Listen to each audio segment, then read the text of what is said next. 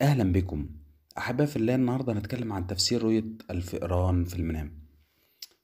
الفئران في المنام أحباء في الله تنقسم لقسمين. قسم إذا كنت إنسان أو شخص مصاب بسحر آه، أو إذا كنت إنسان عادي وشوفت الفئران في المنام. عايزك تعرف أخي الكريم إن النبي عليه الصلاة والسلام أمر بقتل الفئران في الحل والحرم لأنها من الفواسق.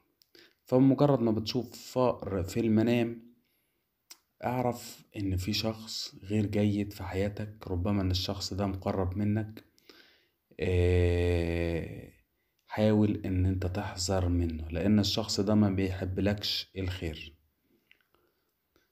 على سبيل المثال لو شفت فأر في المطبخ بتاعك تعرف إن في شخص غير جيد آه، قري- قريب منك جدا ربما يكون صديق مقرب ليك. الصديق ده بيحاول يأذيك في عملك بيحاول آه، إن هو يسبب لك المشاكل من غير ما تحس آه، وبيبين لك إن هو بيحبك لكن هو إنطال أو إن استطاع إن هو يقتلك هيقتلك. فمجرد ما بتشوف فار في في ال- المطبخ بتاعك أو في آه، في بيتك تعرف إن في شخص غير جيد ومقرب منك جدا بيحاول يأذيك آه، في العمل بتاعك. أختي الكريمة لو شفتي فار في غرفة نومك سواء كنت متزوجة أو كنت عزباء اعرفي إن في شخص ربما أنت مرتبطة بيه.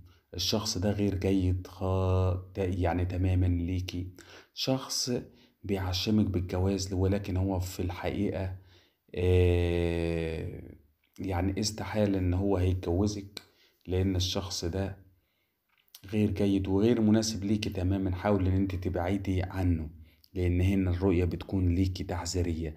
أما في حالة أختي الكريمة لو كنت متزوجة وشفت فار في غرفة نومك فعايزك تركزي كويس جدا وتاخدي بالك ربما إن في شخص مقرب منك أو يعني بيتكلم معاكي وانت على صلة بيه من ورا جوزك أو إيه ولكن في الحقيقة الشخص ده بيقول لك كلام وبي يعني وبيحاول يفرق ما بينك وبين جوزك حاولي إن انت تاخدي بالك كويس جدا لأن الشخص ده غير جيد.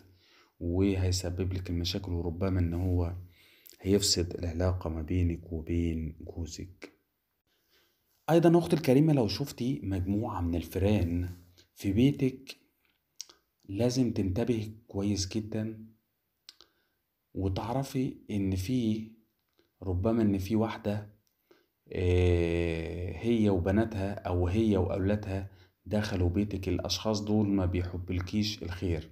وطبعا على قدر أو على قد عدد الفئران اللي أنت شفتيهم على قد آه، يعني هتحاولي تقارنيها بال بال بالإنسانة أو بالمرأة في الحقيقة. يعني مثلا لو شفتي آه، فار فارة ومعاها تلات فئران صغيرين شوفي مين أكتر واحدة أو آه، يعني أكتر واحدة أنت على علاقة بيها أو على صلة بيها. اللي هي بتكون واحدة وتلات بناتها أو تلات أولادها. أعرف إن هي الشخص الإنسانة دي ما بتحبلكيش الخير لا هي ولا أولادها. فلازم تكوني تنتبهي وتكوني على حذر علشان ما يسببلكيش المشاكل لأن هما في الحقيقة حاقدين ليكي. والرؤية هنا زي ما قلتلك بتكون رؤية تحذيرية.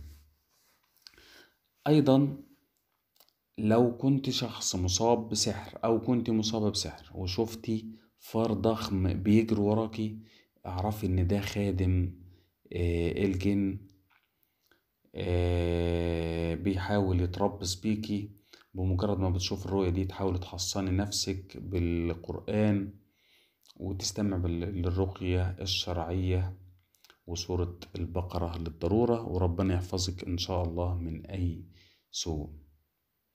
فأحباه في الله.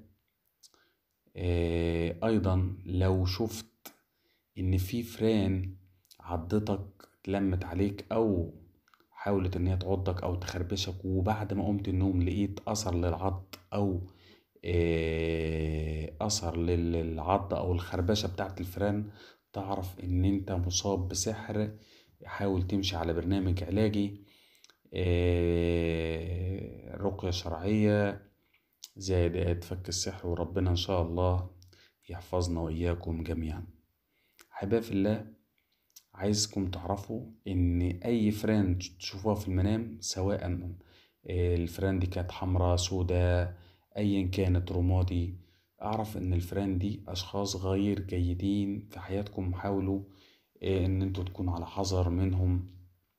لربما الأشخاص دول يسببوا لكم مشاكل وربما المشاكل دي تكبر ويعني تتحول لكوارث. مش هفكركم أحبائي في الله لو أي حد شاف رؤية أو حلم في في المنام